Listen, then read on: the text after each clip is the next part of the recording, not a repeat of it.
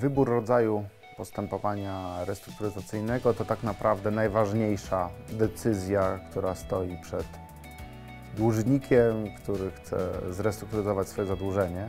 Tak jak wcześniej powiedziałem, tych e, postępowań czy rodzajów postępowań restrukturyzacyjnych wynikających z prawa restrukturyzacyjnego e, jest e, cztery, a zatem całkiem sporo.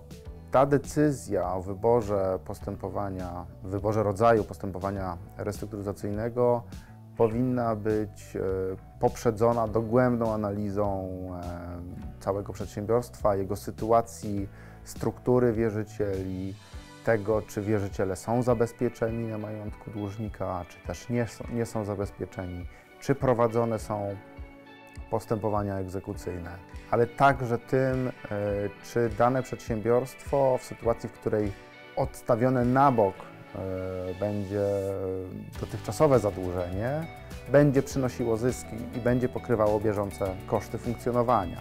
Ważnym elementem też przy wyborze rodzaju postępowania restrukturyzacyjnego jest e, pytanie, czy do podjęcia są określone działania sanacyjne, takie jak właśnie wypowiadanie umów, czy odstępowanie od kontraktów nierentownych, e, dokonanie zwolnień grupowych bez tych wymogów wynikających z prawa pracy, czy też e, przeprowadzenie jakiegoś procesu dezinwestycyjnego, bo to nas od razu kieruje e, w kierunku postępowania sanacyjnego.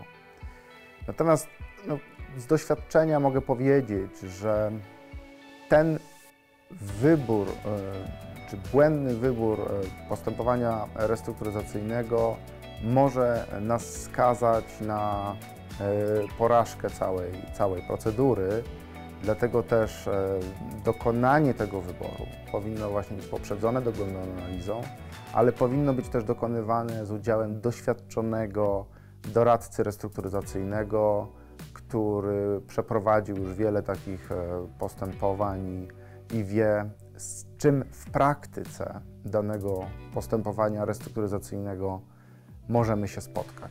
Podsumowując, wybór rodzaju postępowania restrukturyzacyjnego to najważniejsze zadanie dla dłużnika i doradcy restrukturyzacyjnego, którzy przygotowują dane przedsiębiorstwo do restrukturyzacji i ono będzie rzutować, ten wybór, ta decyzja, będzie rzutować na dalszy proces restrukturyzacji. Błędna, e, błędny wybór może spowodować, że postępowanie restrukturyzacyjne nie będzie możliwe do przeprowadzenia w e, sposób e, skuteczny. A zatem zachęcam do tego, żeby wybór rodzaju postępowania restrukturyzacyjnego był poprzedzony przygotowaniem audytu restrukturyzacyjnego przy udziale doświadczonego doradcy restrukturyzacyjnego.